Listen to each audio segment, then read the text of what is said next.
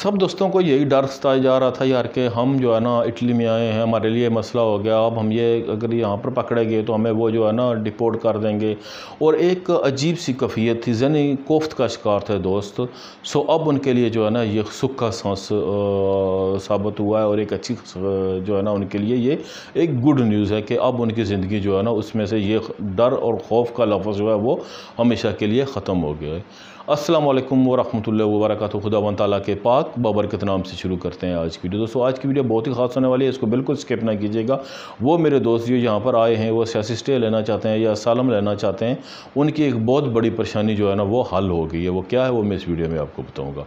आगे बढ़ने से पहले हमारी एक छोटी सी दुआ है, उसमें आप शामिल हो जाएँगे। जो अभी हमारी ये वीडियो देख रहा है, बहन, बेटा, बेटी, बुज़ुर्ग, अगर वो बीमार हैं तो खुदा वन ताला उनको शफा कामला अता करे। अगर वो बे औलाद है तो खुदा वन ताला उनको नेक और सादतमंद औलाद जैसी नियामत से नवाजे। और खुदा ताला आपकी हर जायज़ दिली ख्वाहिश पूरी करे। आमिन सुमिन जो दोस्त मेरे चैनल पर नए आए हैं अभी तक आपने चैनल को सब्सक्राइब नहीं किया तो जल्दी से चैनल को सब्सक्राइब कर लें और साथ घंटी के बटन को दबाना ना भूलिए और इसको सिफार ऑल करते दें। जो मुसलमान मेरी वीडियो देख रहे हैं, दोस्तों, अगर आप किसी परेशानी का शिकार हैं, किसी माली परेशानी का, सेहत का मसला है, कि घरेलू मसला है तो आप ख़त्म नबीन हज़रत मोहम्मद सल्ला वसलम पर जितना दरुद सलाम हो सकता है बेचें। खुदा व ताली आपकी हर परेशानी, मुसीबत देखिएगा, किस तरह दूर फरमाता है। अब दोस्तों, हम आते हैं अपने मेन टॉपिक की तरफ़, के दोस्तों, बहुत से दोस्त जो थे ना, वो इस परेशानी का शिकार थे जी के हम यहाँ पर आ गए हैं तो अगर हम केस कराते हैं तो हमारे फिंगरप्रिंट होंगे तो वो कहेंगे जी कि आपने इटली में इंटरली इटली में आपकी एंट्री हुई थी तो आप यहाँ पर जाएँ, क्योंकि डबलिंग कानून की वजह से बहुत ज़्यादा परेशानी का शिकार थे, दोस्त हमारे बहुत ऐसे थे जो वो डर के मारे जो है ना, अपने केस ही नहीं करा रहे थे कि यार कि कहीं हमारे लिए मसला ना बन जाए। तो अब सब दोस्तों के लिए ग्रेट न्यूज़ है। इटली फ्रांस जर्मनी स्पेन समेत पूरी यूरोप में रहने वाले गैर मुल्कों के लिए यूरोपीय यूनियन ने नया कानून मुतारफ़ करा दिया है। जी हाँ दोस्तों यूरोपीय यूनियन का एक अजलास हुआ है। उन्होंने एक नया कानून मुतारफ़ करा दिया है जिसके तहत अब जो भी दोस्त मेरे असलम अप्लाई करेंगे इससे पहले जो डबलिंग कानून था उसको उन्होंने ख़त्म कर दिया है और नए कानून के तहत असलम सीकर को को जो है ना वो आ, डील किया जाएगा और छः माह में केस का जो है वो फ़ैसला होगा। आपका छः माह में वो इतने यानी कि ये महकमा उन्होंने फास्ट कर दिया है कि जो भी आपका केस है उसका छः महीने के अंदर उन्होंने फ़ैसला करना है। उसकी जो है ना वो आपका केस अगर ठीक है तो वो आपको वो फ़ौर जो है ना आपको असलम सीकर के केस है या फिजी जो भी है, वो उसका फ़ैसला करेंगे। और अगर आप हकदार हैं तो ठीक, नहीं तो वहाँ से आपको डिपोर्ट कर दिया जाएगा। तफसील के मुताबिक, जैसा कि चंद दिन कबल यूरोपीय यूनियन के तमाम मालक के वजारत दाखिला ने यूरोपियन मुल्क लफ्समबर्ग में मीटिंग की है। जिसमें जो है ना, सब ममालक ने जो है ना, इस तौर पर मुतफ़ा फ़ैसला किया है जी कि अब जो जो डबलिंग का कानून है, ये ज़्यादा सख्त है और इससे जो है ना, इंसानी हकूक़ की पामाली हो रही है। सो इन सब दोस्त, जो जर्मनी, फ्रांस, इटली हैं, इन्होंने मुश्तर तौर पर जो है ना, इस कानून के ख़िलाफ़ आवाज़ बुलंद की और इस कानून को ख़त्म कर दिया गया। इसके साथ ये भी हुआ है जी कि जो कानून जो है, वो गैर मुल्कियों को नहीं लेगा या उनके वहाँ पर केसेस नहीं लेगा, उनको फ़ी आदमी बीस हज़ार यूरो जुर्माना देना पड़ेगा, क्योंकि इसमें हिंगरी और दूसरे जो ममालक हैं, सिल्वेनिया और पुर्तगाल जो है नॉर्वे वगैरह, इन्होंने जो है ना, वो काफ़ी मुखालफत की थी।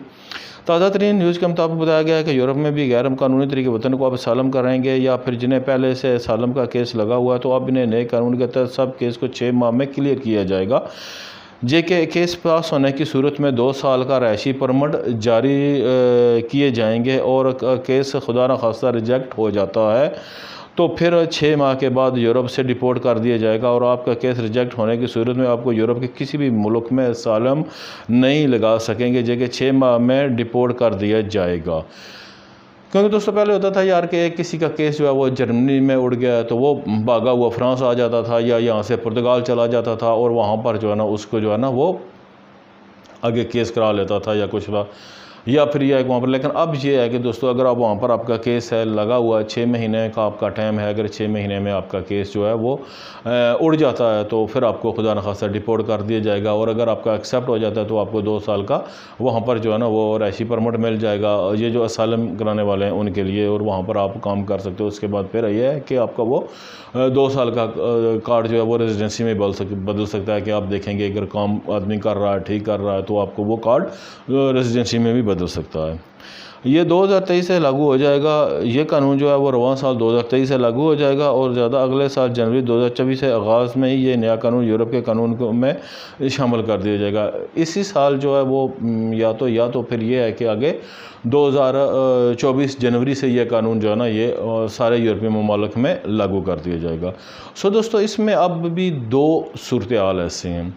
इसमें यह है कि कोई दोस्त जो अगर केस करा रहे हैं, उनका केस कमज़ोर है, इतना ख़ास नहीं है तो दोस्तों मैं कहता हूँ कि वो एहतियात करें क्योंकि फिर वो उनके लिए मसला बनेगा, क्योंकि अब गुंजाइश की कोई जो है ना, उन्होंने कसर नहीं छोड़ी है कि अगर आपका केस उठता है तो वो फ़ौर आपको यहाँ से डिपोर्ट कर दिए जाएँगे आपके मोलक में। दूसरा ये सूरत है कि जो जिनका केस मज़बूत है, वो कहते हैं कि यार कि हमारे पास हर चीज़ के पारूफ हैं तो वो अपनी किस्मत आजमाई कर सकते हैं, लेकिन फिर भी आप एहतियात के साथ काम लें। इस वीडियो को जितना हो सके शेयर करें, जो भी मेरे दोस्त जो है ना, वो इस परेशानी के शिकार में है तो उनकी कुछ परेशानी दूर हो, इसको सरकार जारिया समझ कर शेयर कीजिएगा। शुक्रिया जजाकला मिलते हैं किसी अगली वीडियो में, अगर ज़िंदगी रही तो अल्लाह हाफ़